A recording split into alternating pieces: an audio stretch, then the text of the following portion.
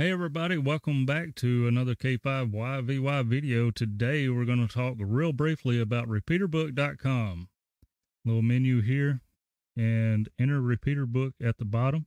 Go to that and then here's a little bit of uh, information. Repeater book is an amateur radio's most comprehensive worldwide and free radio repeater directory. And they are now supporting GMRS repeaters, so that's interesting. Your main menu will look like this here on the side, you'll have uh, profile and North American repeaters, which includes the US and Canada, the rest of the world repeaters, simplex nodes, there's the GMRS, and so on. So there's some information there for you to look through. If you uh, frequently ask questions here, you can go to any of those. Nice put together stuff. Registration. Do I have to register? No. You are free to browse the site without registering. However, when you register, you will find that you have access to more features and automation. For example, you must register to create export files for programming software and to create print lists. So I'm not really making a video today about how to do everything, but we'll go over some of the stuff that you can do. If you're in the US or so, you want to do uh, North American repeaters, and here is some quick search options that you can do. You can also scroll down. You may see a map. If it does, you can just scroll over any state that you wish and click on that, or you can go on down and select it by a clickable link. We'll go to Mississippi. When you click on that, it'll show you that you're in Mississippi and this is amateur radio repeaters. A quick search, which if you just scroll down from here, it gives you your search options. So you can search by just band, uh, particular features, services like Skywarn, Emergency Power. You can do uh, repeaters that are recommended by nearby highways or interstates, repeaters listed by the nearest city or town. So you can search by city or you can scroll down a little more and do it by county. Another thing that's handy is proximity search. This is where you're going to want to make sure that you have an account. It's free. Don't take long to set up an account. So you can type in location here. You can do it by landmark, city, state, or zip code. We'll just do uh, Memphis, Tennessee. Do a radius that defaults at 25 miles. We'll keep it at 25 miles. We'll select one band. You can select more than one band if you want to do two meters and 440s, or you can do, you know, 10 or six, whatever you want to do you hear a repeater on your radio and scan, but you're unsure what that repeater is, what the call sign is, want to know where it's located, go over here to the proximity search. You may need to do a bigger radius depending on how far out you may be hearing, and then type in that frequency. Hit search and it'll it'll show if it's in the database, it will show it. Or if it had a uh, if you caught the call sign ID to the repeater, you could put it in there. But for this, we're going to leave those blanks because this is going to be like I got a new radio and I want a quick way to program repeaters around me. So let's just say I'm in Memphis, Tennessee. I put in that location, 25 mile radius. Uh, I want two meters. I want FM repeaters. You can select different types of repeaters, DMR, D star, whatever it may be features like All Star, Echo Link, etc. Now, operational status, you want to do confirmed error only because you don't need repeaters that aren't working, and might as well go ahead and check open repeaters, which means they're open for any amateurs to use. Every now and then you may come across one that says closed, and that's usually because it's just a club member repeater. You hit search. So it found 13 repeaters within 25 miles of Memphis, Tennessee. And here's your legend. Shows you what the icons over here on the side stand for. If it's green, it's on air, red off air, yellow testing. And if it's white, then nobody really knows. Nobody's told us whether it's on air or off air. So there's your list of repeaters. You got that. Now what to do with it? Well, you can go up here to export.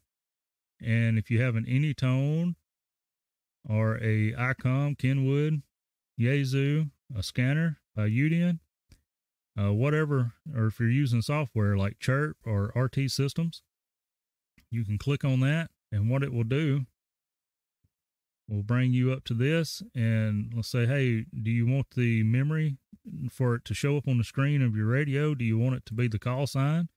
You want it to be location, city, or landmark, or do you just want it to be frequency? We'll leave it as call sign and then sort. You want to sort it by call sign? I think I would probably do by distance, closest to furthest out. You'd agree to it and hit download. You'll bring a download here, hit OK, save it to your computer, open up Chirp, and open the file that you just downloaded. And it will populate all that into your Chirp or other option that you chose. And then you just upload it to your radio and you just loaded all these repeaters. And of course, if you've done 75 miles out, it would have been a lot more. I think uh, I tried it earlier and it was 94 repeaters. So to program repeaters into your radios. And here's another uh, search function. You go to quick and that'll bring Canada, USA, Mexico, do it by state, counties, nationwide, traveling. You go to travel, if you're going to be making a trip, go here. Let's choose your route united states. So you can choose different uh, interstates or highways. You can do i-55 you can filter the state. I'll just do mississippi and then we can filter the band. We'll do two meter repeaters. And you could do wide area only. You have to see what option suits you best. Again you hit search and there gives you a list of repeaters that has been identified to be within range of I 55 as you travel. You got several different counties that could help you out. Special modes, you can do stuff like that. We'll go DMR, see what that's about. So, DMR information that you can choose from. You can do states. We'll see what Missouri's got. We'll do all because they could be on two meters or 440s. Hit search. And here's your repeaters listed to have DMR functionality on them in Missouri. So, quite a list there.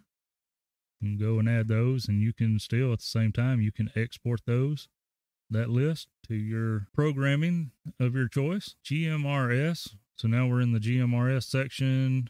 I bet there's, see if there's any in Mississippi around me, because I don't know anybody. Looks like you got one in Brookhaven and one in Jones County two repeaters on GMRS in Mississippi. Let's go back and let's do Tennessee. You got the Smoky Mountains in Tennessee, so oh yeah, look at that. You got plenty more.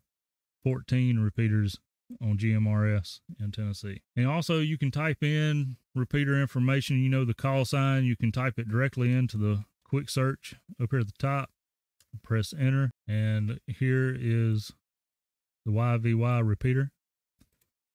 You click on a repeater and it will bring up the information page. So my repeater is located on top of the hospital in town. So that's the landmark that shows there. It shows that it can be accessed from I 22, Highway 15, and Highway 78. Now, some of these repeaters will give you a location photo, and the repeater owners can upload a photo.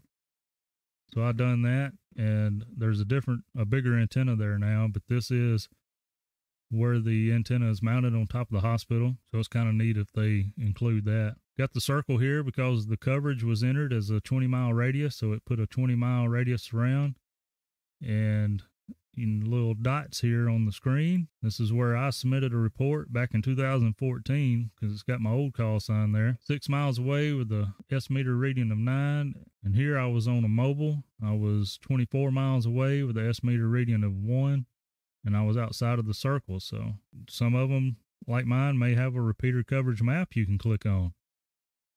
And this was a map made with some other software some of you may be familiar with, but that uh, everything in green should be good to go. You get out here where it's broken up and terrain and stuff, reception or transmission may be a little spotty, but that kind of gives you another idea too.